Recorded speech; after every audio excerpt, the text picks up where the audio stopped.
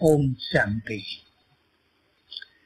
श्रेष्ठ योग की स्थिति को प्राप्त करने के लिए हमें देह और देह के संबंधों से ऊपर उठना होता है, क्योंकि आत्मा यदि देह के अटैचमेंट में अटकी हुई है तो उसका बुद्धि योग ऊपर बाबा के पास नहीं जा सकता, और देहधारियों की याद चाहे वो मोहवश हो, चाहे आकर्षणवश हो, मनुष्य को योग युक्त नहीं होने देती।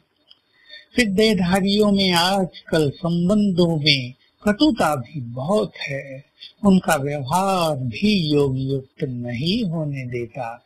इसलिए उनके प्रति आत्मिक भाव धारण करने वाले, उनके प्रति साक्षी भाव धारण करने वाले, कि ये सभी आत्माएँ अपना अपना पाठ बजा रही हैं।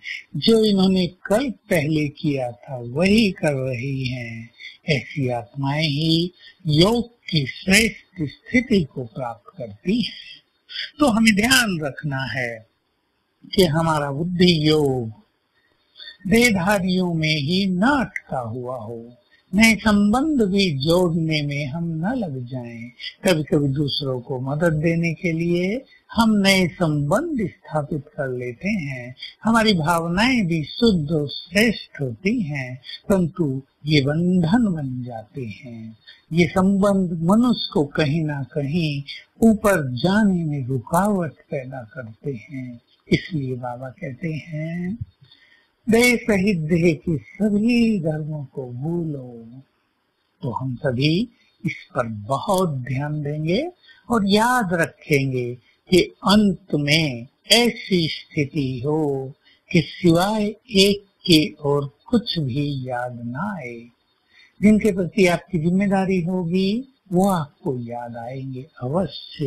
परंतु यदि आप पहले से ही ये दृढ़ संकल्प कर दें कि इन सब का जिम्मेदार बाबा है, और ये सभी आत्माएँ अपना अपना श्रेष्ठ भाग्य लेकर भी चल रहे हैं तो ये ज़िम्मेदारी का बोझ जैसा रहता है। और ये भी रहता है कि हमारे बाद इनका क्या होगा, इससे आप मुक्त हो जाएँगे। बच्चों का क्या होगा आपके जाने के बाद? आपकी पत्नी का क्या होगा? ये सब चिंता बाबा को अर्पित करने वाले।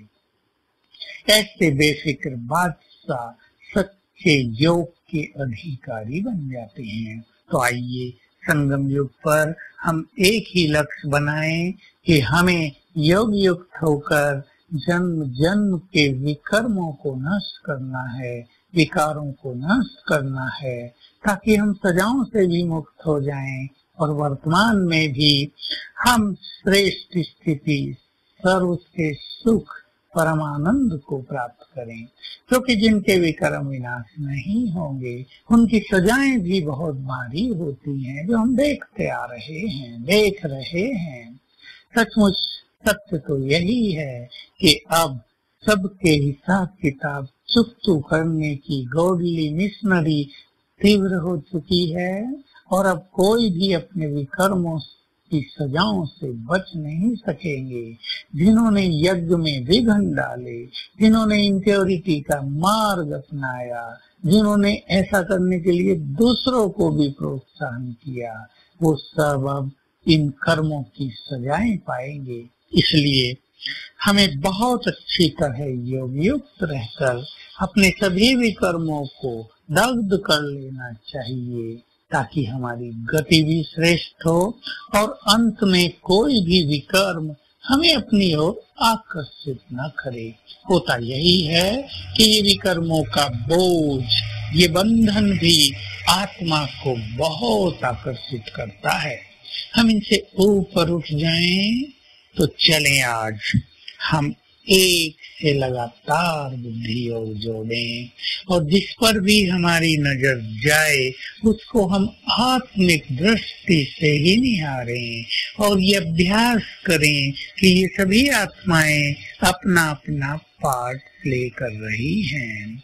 हम इनके जिम्मेदार नहीं, इन सब के जिम्मेदार बाबा है। बस इससे स्वयं को हल्का करें और अपनी योग युक्त स्थिति को निरंतर बढ़ाते चलें। ओम।